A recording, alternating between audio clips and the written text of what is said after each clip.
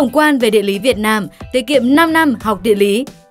Chào mừng các bạn quay trở lại với kênh địa lý. Không biết có bạn nào ở đây đã từng vi vu hết tất cả các tỉnh thành của Việt Nam rồi ạ? Các bạn hãy comment một vài trải nghiệm của mình xuống phía dưới để chia sẻ với mọi người nhé. Vâng, sự phát triển của Việt Nam trong những năm gần đây rất đáng được ghi nhận. Đổi mới kinh tế và chính trị từ năm 1986 đã thúc đẩy phát triển kinh tế, nhanh chóng đưa Việt Nam từ một trong những quốc gia nghèo nhất trên thế giới trở thành quốc gia thu nhập trung bình chỉ trong một thế hệ. Theo số liệu của Quỹ tiền tệ quốc tế IMF, năm 2022, GDP của Việt Nam là 413 tỷ đô, là nền kinh tế lớn thứ 38 thế giới. Còn tính theo sức mua tương đương PPP là 1.299,69 tỷ đô, là nền kinh tế lớn thứ 26 thế giới. Cũng theo IMF, GDP bình quân đầu người của Việt Nam năm 2022 là 4.163 đô, xếp hạng 118. Còn theo sức mua tương đương 13.075 đô, xếp hạng 107 trên 193 quốc gia và vùng lãnh thổ. Kết quả này đã đưa Việt Nam từ một trong những nước nghèo nhất thế giới trở thành nước đang phát triển với quy mô nền kinh tế không ngừng được mở rộng, tốc độ tăng trưởng GDP thuộc nhóm cao nhất trong khu vực cũng như trên thế giới.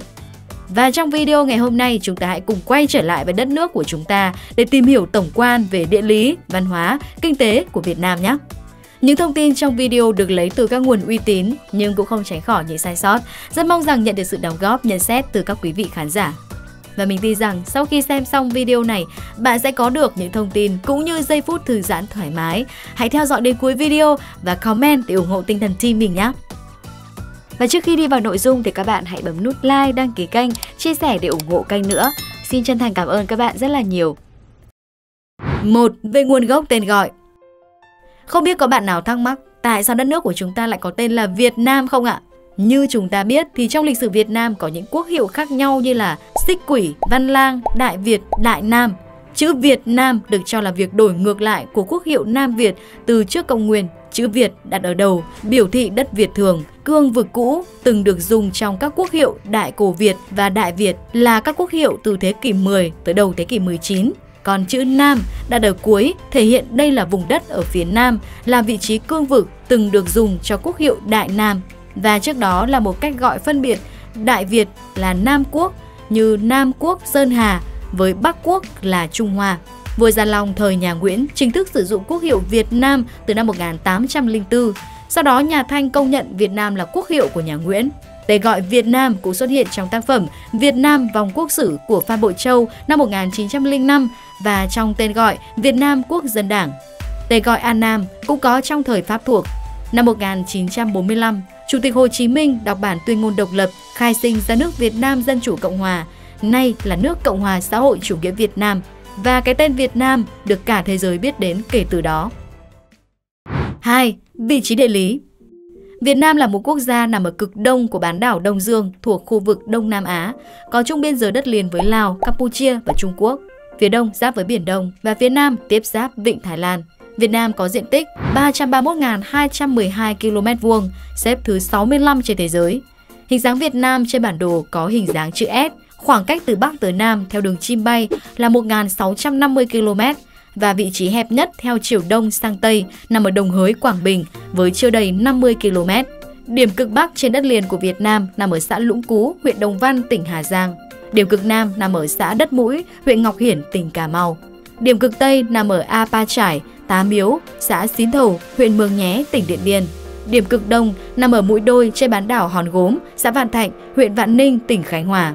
Việt Nam được đánh giá là một quốc gia có vị trí địa lý, có địa thế và điều kiện tự nhiên vô cùng thuận lợi để phát triển kinh tế. Trong phong thủy, có một thế người ta gọi là thế tựa sơn hướng thủy, nghĩa là một mặt tựa núi và một mặt hướng ra biển hoặc view sông hồ. Sự hòa hợp giữa núi và biển tạo ra một vị trí tài lộc vượng khí, đó là lý do những căn biệt thự đắt nhất trên thế giới đều có thế phong thủy như vậy. Việt Nam chúng ta may mắn có một thế phong thủy rất đẹp, lưng tựa dãy núi Trường Sơn phía Tây và các dãy núi ở phía Bắc. Mặt hướng ra Biển Đông bao la rộng lớn. Địa thế này không những rất đẹp để phát triển kinh tế, giao thương đường biển mà còn rất thuận lợi trong việc phòng thủ quân sự trước những kẻ địch mạnh hơn ta gấp nhiều lần. Chưa kể vị trí địa lý chúng ta gần với Trung Quốc, nền văn minh số 1 phương Đông, nền kinh tế thứ hai thế giới, thị trường tiêu thụ lớn nhất thế giới, cùng với đó là gần các tuyến hàng hải nhộn nhịp bậc nhất thế giới đi qua eo biển Malacca. Chúng ta cũng là điểm trung chuyển hàng hóa của các nước bạn Lào hay miền Bắc Thái Lan qua Thái Bình Dương, là trung tâm của khu vực Đông Nam Á, vân vân. Hiếm có quốc gia nào có vị trí đẹp như Việt Nam, bởi vậy nước ta từ hàng nghìn năm nay luôn bị các đế quốc thực dân hay anh bạn hàng xóm thường xuyên nhòm ngó. Điều đó khiến chúng ta phải rất mềm dẻo trong chính sách ngoại giao của mình, tránh đi vào vết xe đổ của Ukraine. 3. Điều kiện về tự nhiên Thứ nhất về địa hình Địa hình của nước ta phần lớn là đồi núi, chiếm 3 phần tư diện tích lãnh thổ, chủ yếu là đồi núi thấp, đồng bằng chỉ chiếm 1 phần tư diện tích, địa hình cao ở phía Tây Bắc và thấp dần về phía Đông Nam. Khu vực có những dãy núi hùng vĩ nhất đều nằm ở Tây Bắc. Tại đây có những dãy núi cao và thung lũng sâu chạy theo hướng Tây Bắc Đông Nam, với rất nhiều đỉnh núi có độ cao trên 2.000 mét. Trong đó, đỉnh Phan Xipang thuộc dãy Hoàng Liên Sơn là ngọn cao nhất có độ cao lên tới 3.143 mét, được mệnh danh là nóc nhà của Đông Dương. Ở phía đông bắc chủ yếu là trung du và đồi núi thấp. Tại đây có các dãy núi hình vòng cung như là cánh cung sông Gâm, Ngân Sơn, Bắc Sơn và Đông Triều. Các dãy này đều trụm lại ở Tam Đảo và mở rộng ra phía bắc và đông bắc. Dãy núi dài nhất đất nước là dãy Trường Sơn ở miền Trung, dài khoảng 1.100 km, được coi như là khung xương của Việt Nam, chạy song song với bờ biển và là biên giới tự nhiên giữa Việt Nam và Lào. Dãy Trường Sơn gắn liền với đường mòn Hồ Chí Minh huyền thoại, nó được nhắc đến rất nhiều trong hai cuộc kháng chiến chống Pháp và chống Mỹ vĩ đại của dân tộc Việt Nam. Ở phía nam dãy Trường Sơn là Tây Nguyên với đất đai rộng lớn màu mỡ, rất thích hợp để trồng các loại cây nông nghiệp như cà phê, ca cao hay cao su. Đồng bằng nước ta chỉ chiếm 1 phần tư lãnh thổ, ở hai đầu đất nước là hai vùng đồng bằng châu thổ rộng lớn. Đồng bằng sông Hồng có hình tam giác với diện tích 15.000 km vuông. Thời trước đây là một vịnh nhỏ của vịnh Bắc Bộ, dần dần được bồi đắp nhờ khối lượng phù sa lắng động khổng lồ của các con sông thuộc hệ thống sông Hồng và hệ thống sông Thái Bình qua hàng nghìn năm, khiến mỗi năm lấn thêm ra biển khoảng 100 mét. Đồng bằng sông Cửu Long với diện tích 40.000 km vuông là một đồng bằng thấp, mọi vị trí trên đồng bằng này không cao hơn 3 mét so với mực nước biển. Đồng bằng bị chia cắt dọc ngang bởi nhiều con kênh và các con sông. Con sông mang nặng phù sa trên mọi nhánh trang trịch của nó, làm cho đồng bằng hàng năm tiến thêm về phía biển 60 đến 80 mét. Về sông ngòi, theo thống kê, tính đến thời điểm hiện tại, mạng lưới sông ngòi Việt Nam lên tới 41.900 km, Tổng cộng có khoảng 2.350 con sông có chiều dài trên 10 km, trong đó có 109 con sông chính, 93% là các con sông nhỏ và ngắn. Còn các sông lớn như sông Hồng, sông Mê Công chỉ là hạ lưu sông lớn xuyên qua biên giới, trải qua lãnh thổ nước ta, tạo nên các vùng đồng bằng châu thổ lớn và phì nhiều. Đây cũng chính là hai vựa lúa lớn nhất cả nước. Do đó mà Việt Nam cũng không có toàn quyền kiểm soát và quản lý chúng. Có thể kể đến như sông Hồng hay sông Mekong Công đang bị Trung Quốc kiểm soát khiến cho dòng chảy hai con sông này bị ảnh hưởng.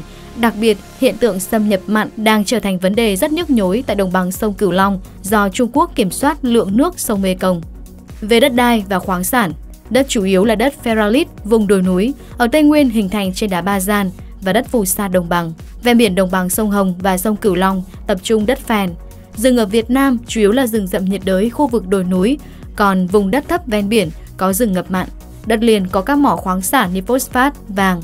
Than đá có nhiều nhất ở Quảng Ninh, sắt ở Thái Nguyên, Hà Tĩnh. Ở biển có các mỏ dầu và khí tự nhiên. 4. Về khí hậu, khí hậu của Việt Nam rất đa dạng và khác nhau giữa các vùng miền tùy thuộc vào địa hình và vị trí địa lý của từng khu vực. Tuy nhiên có thể phân loại chung thành 3 vùng khí hậu chính. Miền Bắc có khí hậu cận nhiệt đới ẩm, miền Trung mang đặc điểm khí hậu nhiệt đới gió mùa, trong khi miền Nam nằm trong vùng nhiệt đới Savan. Khí hậu Việt Nam có độ ẩm tương đối trung bình 84 đến 100% cả năm. Tuy nhiên vì có sự khác biệt về vĩ độ và sự khác biệt địa hình nên khí hậu có khuynh hướng khác biệt nhau khá rõ nét theo từng vùng. Trong mùa đông hay mùa khô, khoảng từ tháng 11 đến tháng 4 năm sau, gió mùa thường thổi từ phía đông bắc dọc theo bờ biển Trung Quốc, qua vịnh Bắc Bộ, luồn theo các thung lũng sông giữa các cánh cung núi ở đông bắc, mang theo nhiều hơi ẩm. Nhiệt độ trung bình hàng năm ở đồng bằng nói chung hơi cao hơn so với vùng núi và cao nguyên. Giao động nhiệt độ từ mức thấp nhất 5 độ C từ tháng 12 đến tháng 1, tháng lạnh nhất, cho tới hơn 37 độ C vào tháng 7, tháng nóng nhất. Sự phân chia mùa ở nửa phía Bắc rõ rệt hơn nửa phía Nam, nơi mà chỉ ngoại trừ vùng cao nguyên, nhiệt độ mùa chỉ chênh lệch vài độ, thường trong khoảng 21 đến 28 độ C. Lượng mưa hàng năm ở mọi vùng đều lớn, dao động từ 1.200 đến 3.000 mm và ở một số nơi có thể gây nên lũ. Gần 90% lượng mưa đổ xuống vào mùa hè. Bão nhiệt đới xuất hiện tập trung vào các tháng mùa mưa từ tháng 5 đến 11, xảy ra chủ yếu ở miền Bắc và miền Trung với lũ lụt trên diện rộng, thường gây nên những hậu quả rất lớn. 5. Về hành chính Việt Nam được chia làm 63 tỉnh thành, trong đó có 5 thành phố trực thuộc trung ương là thủ đô Hà Nội, thành phố Hồ Chí Minh, Hải Phòng, Đà Nẵng và Cần Thơ. Trong đó, Hà Nội và thành phố Hồ Chí Minh là hai thành phố lớn nhất nước với trên 8 triệu dân, còn ba thành phố còn lại từ 1 đến 2 triệu dân. Thủ đô của Việt Nam là thành phố Hà Nội, là trung tâm văn hóa cũng như chính trị của cả nước. Thành phố đông dân cũng như có quy mô GDP lớn nhất là thành phố Hồ Chí Minh, ngày nay vẫn thường được gọi phổ biến với tên cũ là Sài Gòn.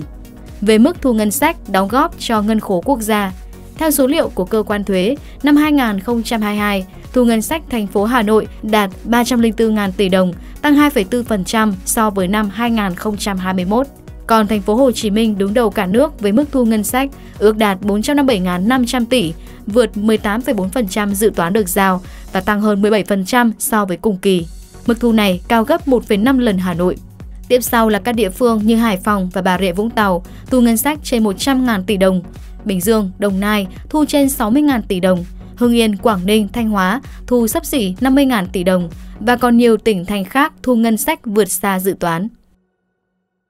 6. Về dân số theo thống kê của Liên Hợp Quốc công bố trên trang dân số.org, dân số của Việt Nam tính đến tháng 3 năm 2023 là 99,4 triệu người, xếp hạng 15 thế giới.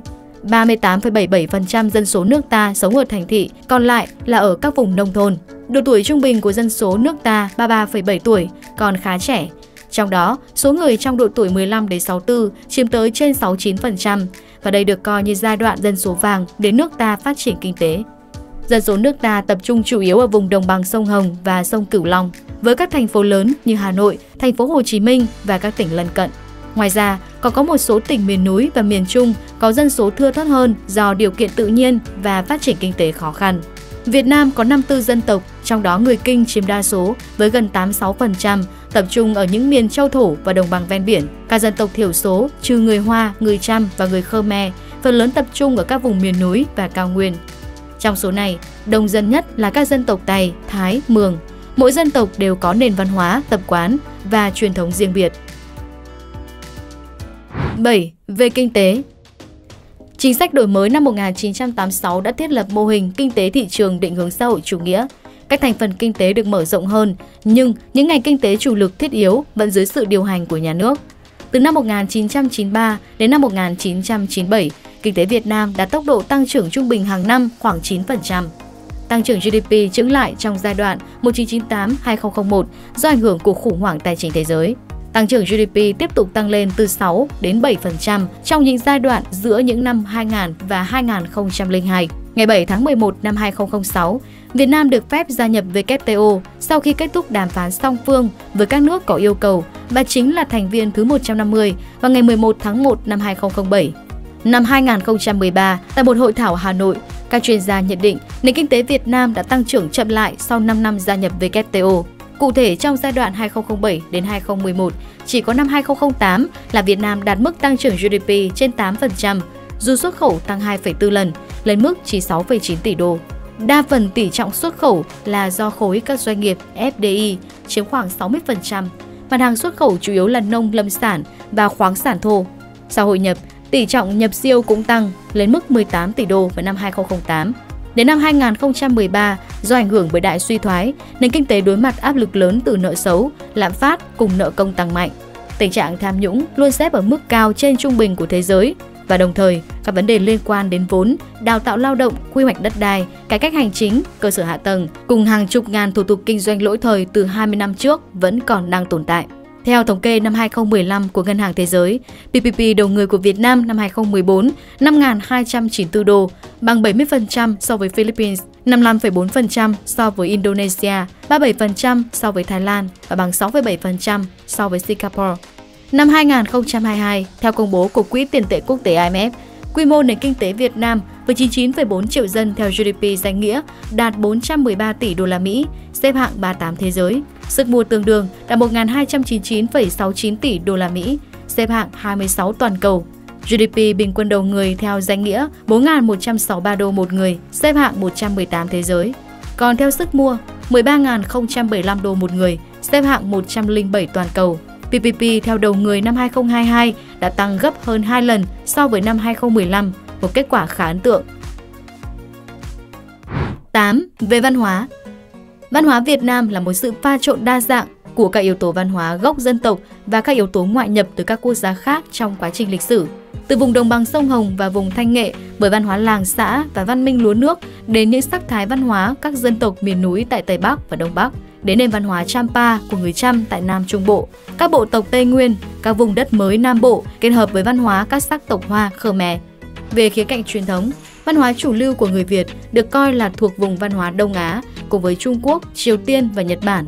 Với lịch sử hàng nghìn năm, từ văn hóa bản địa đến thời Hồng Bàng, đến những ảnh hưởng của Trung Quốc và Đông Nam Á, đến những ảnh hưởng của Pháp thế kỷ 19, phương Tây trong thế kỷ 20 và tuần cầu hóa từ thế kỷ 21, Việt Nam đã có những thay đổi về văn hóa theo các thời kỳ lịch sử.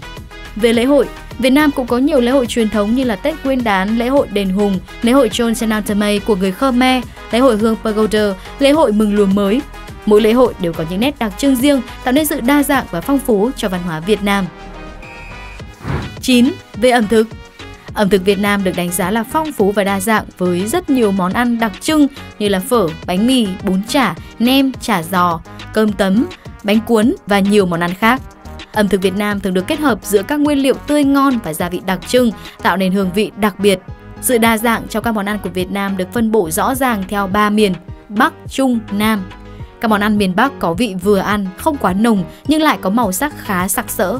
Thường thì không đậm các vị cay, béo, ngọt do chủ yếu sử dụng mắm tôm, nước mắm loãng, nổi tiếng là các món phở, bún chả, bún thang, bún ốc. Các món miền Trung lại có vị đậm và nồng độ mạnh hơn với hương vị đặc biệt của nhiều loại gia vị. Món miền Trung thường cay hơn miền Bắc và miền Nam, màu sắc món ăn cũng được phối trộn phong phú, rực rỡ hơn. Thường thiên về màu đỏ và nâu sậm, nơi đây khá nổi tiếng với mắm tôm chua và các loại mắm ruốc. Ẩm thực miền Nam lại chịu nhiều ảnh hưởng của nền ẩm thực Trung Hoa, Thái, Campuchia nên thiên về độ ngọt, cay. Nơi đây nổi tiếng với các loại mắm khô như mắm cá sặc, mắm ba khía, mắm bò hóc cùng những món ăn dân dã miền sông nước. 10. Du lịch Việt Nam là một đất nước có nền văn hóa lâu đời và đa dạng, cùng với đó là những cảnh quan thiên nhiên đẹp và những địa danh lịch sử văn hóa rất nổi tiếng trên thế giới. Dưới đây là những điểm nổi bật trong du lịch của Việt Nam. Đầu tiên phải kể đến Vịnh Hạ Long. Vịnh Hạ Long là một trong những điểm đến du lịch nổi tiếng nhất của Việt Nam. Nằm ở vùng đông bắc của đất nước, Vịnh Hạ Long được UNESCO công nhận là di sản thế giới với cảnh quan thiên nhiên đẹp tuyệt vời. Vịnh Hạ Long bao gồm hơn 1.600 hòn đảo đá vôi được bao phủ bởi rừng ngập mặn và cảnh quan đồng bằng châu thổ sông Hồng. Điểm đặc biệt của Vịnh Hạ Long là những hòn đảo đá vôi có hình dáng độc đáo như hình chiếc rồng, hình chú voi, hình cái tay. Du khách đến Vịnh Hạ Long có thể tham gia các hoạt động thú vị như đi thuyền trên vịnh, tham các hang động và thác nước, tắm biển, lặn ngắm san hô, tham quan các làng trài trên biển, thưởng thức ẩm thực địa phương. Vịnh Hạ Long là một trong những điểm đến không thể bỏ qua khi du lịch Việt Nam. Phong Nha, Kẻ Bàng Phong Nha Kẻ Bàng là một trong những khu vực địa chất đá vôi tuyệt vời của Việt Nam với hàng trăm hang động và khe nứt được tạo ra bởi dòng nước qua hàng triệu năm. Khu vực này được UNESCO công nhận là di sản thế giới với đa dạng sinh học và địa chất. Trong đó, hang Sơn Đòn được xem là hang động lớn nhất thế giới với chiều cao ở một số điểm lên tới 200m, chiều rộng gần 150m và chiều dài hơn 5 km. Đến hang Sơn Đòn, du khách có thể trải nghiệm cảm giác như một người khám phá thực sự khi đi qua các thác nước, các dòng sông ngầm và các thung lũng đá vôi đẹp mắt. Ngoài hang Sơn Đòn, phong nhà kẻ bàng có có nhiều hang động và khe nứt đẹp khác như hang Thiên Đường, hang Én, hang Phong Nha. Du khách có thể tham gia các tour khám phá hang động, tắm suối, đi bộ đường rừng và trải nghiệm cuộc sống của người dân địa phương. Với cảnh quan độc đáo và hoang sơ, Phong Nha Kẻ Bàng là một trong những điểm đến du lịch đáng xem nhất của Việt Nam. Sapa Sapa là một thị trấn nằm ở cao nguyên đá Tây Bắc thuộc tỉnh Lào Cai, Việt Nam. Thị trấn này nổi tiếng với khí hậu mát mẻ, cảnh quan thiên nhiên đẹp và là nơi sinh sống của nhiều dân tộc thiểu số đặc trưng của miền núi phía Bắc Việt Nam. Sapa có cảnh quan thiên nhiên tuyệt đẹp với những ngọn núi cao, những thung lũng xanh ngát, những thác nước và đồi chè xanh gì. Du khách đến Sapa có thể đi bộ đường mòn, leo núi, thăm làng của các dân tộc thiểu số, tham quan chợ phiên với đặc sản địa phương như rượu tám mèo, bánh dày. Sapa cũng là điểm đến để tham gia tour đi bộ đường dài trên núi với những cảnh quan đẹp như Phan Xipang, đỉnh núi cao nhất Việt Nam, Thác Bạc, một trong những thác nước đẹp nhất miền Bắc. Với khí hậu mát mẻ quanh năm, cảnh quan thiên nhiên đẹp và đa dạng, Sapa là một điểm đến hấp dẫn cho các tín đồ du lịch tự nhiên mong muốn khám phá văn hóa dân tộc của Việt Nam. Ngoài ra, Việt Nam còn có hàng trăm di tích lịch sử và các danh lam thắng cảnh nổi tiếng khác như Huế, Hội An, Đà Nẵng, vân vân. Vâng thưa quý vị và các bạn, vừa rồi chúng ta đã cùng tìm hiểu tóm tắt về địa lý Việt Nam. Mình tin rằng là những thông tin trong video này giúp bạn có được cái nhìn tổng quan về địa lý văn hóa của đất nước chúng ta. Nếu cảm thấy thú vị, đừng quên bấm đăng ký kênh, bật chuông thông báo và chia sẻ. Còn bây giờ xin chào, hẹn gặp lại các bạn ở các video tiếp theo.